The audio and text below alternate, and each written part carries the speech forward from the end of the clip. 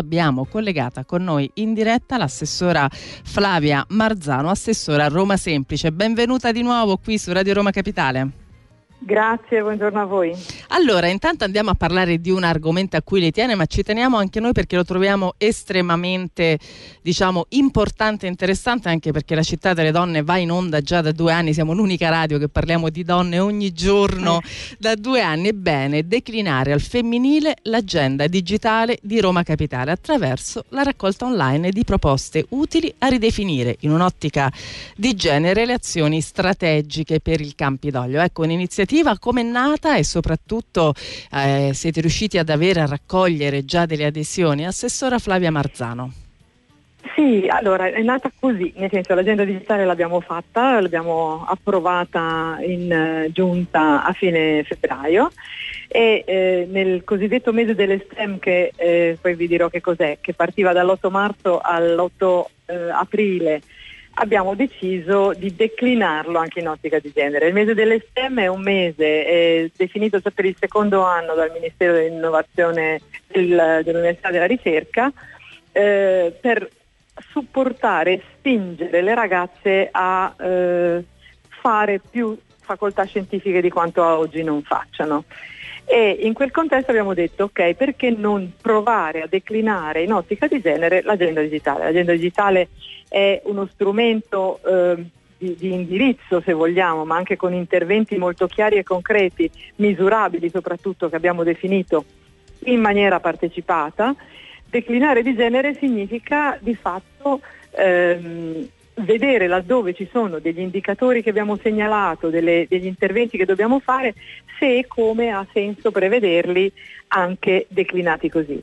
Abbiamo avuto, per rispondere alla sua domanda sui numeri, mh, più di 30 contributi che sono pervenuti, hanno ricevuto, era possibile votare, hanno ricevuto 280 voti, 40 commenti e li abbiamo illustrati l'altro giorno in Campidoglio eh, proprio con le, le, le, entità che avevano partecipato alla consultazione, fossero singole persone o associazioni.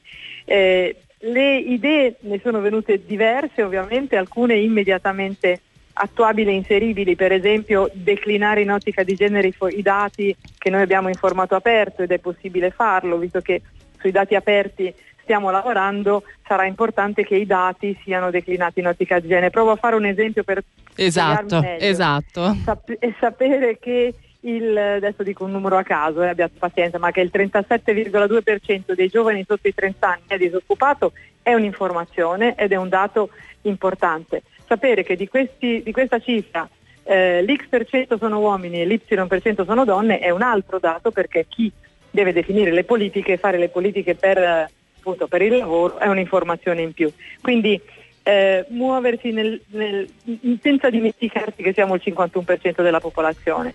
Un'altra bella idea che ci è piaciuta molto è di realizzare un'anagrafe dell'associazionismo femminile. Ottimo. A Roma ce ne sono veramente tantissime, se riusciamo a metterle tutte in un unico punto, quantomeno come link, in maniera che uno sappia chi c'è, che cosa fa, perché eh, è, è, molto utile, quindi veramente le idee sono tante, percorsi formativi di facilitazione digitale sono altre idee che sono venute e sono molto interessanti anche queste perché sappiamo purtroppo che il divario digitale è un problema del Paese non indifferente rispetto agli altri Paesi europei e purtroppo il divario digitale non è soltanto mancanza di connettività, ma è anche un problema socio-economico, culturale e ai noi anche di genere.